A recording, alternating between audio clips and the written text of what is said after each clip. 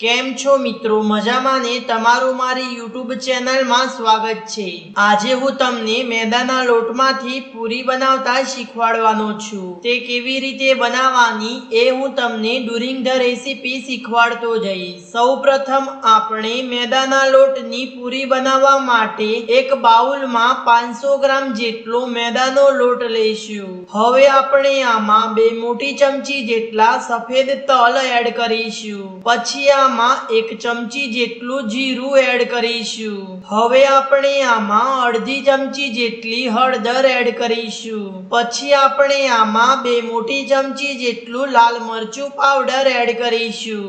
અને એક ચોથાઈ ટીસ્પૂન જેટલી હિંગ એડ કરીશું. અને છેલ્લે આપણે આમાં સ્વાદ અનુસાર મીઠું એડ કરીશું. હવે આપણે આ બધી જ સામગ્રીને સરખી રીતે એકવાર મિક્સ કરી દઈશું. પછી આપણે આમાં ત્રણથી ચાર ટેબલ સ્પૂન જેટલું થોડુંક ગરમ કરેલું તેલ એડ કરીશું. હવે આપણે આને સરખી રીતે એકવાર મિક્સ કરી દઈશું. મેદાના લોટની પૂરી બનાવવા માટે આપણે આ રીતનું મુઠ્ઠી પડતું મોયણ રાખવાનું છે. હવે આપણે આમાં થોડુંક થોડુંક પાણી એડ કરતા જશું અને મેદાના લોટની પૂરીનો લોટ બાંધી લઈશું.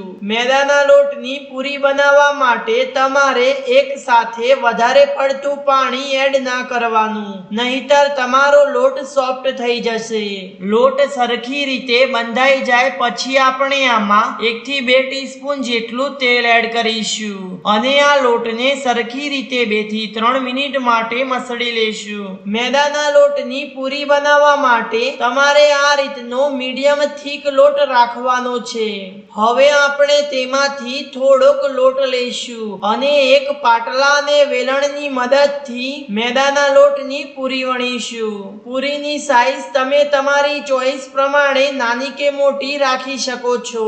તમારે મેદાના લોટની આ રીતે એકદમ પાતળી પૂરી વણવાની છે. હવે આપણે એક કાણાવાળી ચમચીની મદદથી આ મેદાના લોટની પૂરીમાં કાણા પાડી દઈશું. જેથી આ મેદાના લોટની પૂરી તેલમાં ફ્રાય કરતી વખતે ફૂલી ના જાય. હવે આપણે આ જ રીતે બીજી બધી જ મેદાના લોટની પૂરી વણીને તૈયાર કરી લઈશું. હવે આપણે આ મેદાના લોટની પૂરીને એક પેપર ઉપર રાખી દઈશું અને એક કલાક માટે રહેવા દઈશું.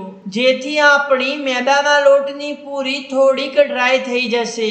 એક કલાક થઈ જાય પછી આપણે ગેસની મીડિયમ ફ્લેમ પર એક કડાઈમાં થોડુંક તેલ ગરમ કરવા માટે મૂકીશું. તેલ સરખી રીતે ગરમ થઈ જાય પછી આપણે તેમાં જે મેદાના લોટની પૂરી બનાવીને રાખી છે તે એડ કરીશું. અને આ મેદાના લોટની પૂરીને એક સાઈડ એક થી બે મિનિટ માટે ફ્રાય થવા દઈશું. તમે આ મેદાના લોટની પૂરી બનાવીને તેનો એરટાઈટ કન્ટેનરમાં ભરીને પંદરથી વીસ દિવસ સુધી સ્ટોર કરી શકો છો. એક થી બે મિનિટ થઈ જાય પછી આપણે આ મેદાના લોટની પૂરીની સાઈડ ચેન્જ કરી દઈશું. અને તેને બીજી બાજુ પણ એકાદ મિનિટ માટે થવા દઈશું એકાદ મિનિટ થઈ જાય પછી આ મેદાના લોટની પૂરી બંને સાઈડથી થોડીક લાઈટ ગોલ્ડન બ્રાઉન કલરની થઈ જાય પછી આપણે આ મેદાના લોટની પૂરીને એક બાઉલમાં લઈ લઈશું હવે આપણે આ જ રીતે બીજી બધી જ મેદાની લોટની પૂરી ફ્રાય કરી દઈશું હવે તમે જોઈ શકો છો કે આપણી ટેસ્ટી અને ક્રિસ્પી મેદાના લોટની પૂરી બનીને તૈયાર છે. હવે આપણે આ મેદાના લોટની પૂરીને એક સર્વિંગ ડીશમાં સર્વ કરી દઈશું. જો તમને મારો વીડિયો પસંદ આવે તો લાઈક શેર અને કોમેન્ટ કરવાનું ના ભૂલતા. અને અમારી યુટ્યુબ ચેનલ ગુજરાતી રેસીપી કિંગમાં નવા છો અને મારી યુટ્યુબ ચેનલને હજી સુધી સબસ્ક્રાઇબ નથી કરી, તો પ્લીઝ મિત્રો સબસ્ક્રાઇબ કરી લેજો. અને ઓલ નોટિફિકેશન ઉપર પ્રેસ કરી દેજો. જેથી હું કોઈ નવો વીડિયો અપલોડ કરું તો તેની નોટિફિકેશન તમારા મોબાઈલમાં સૌથી પહેલા બતાવશે. Thank you bye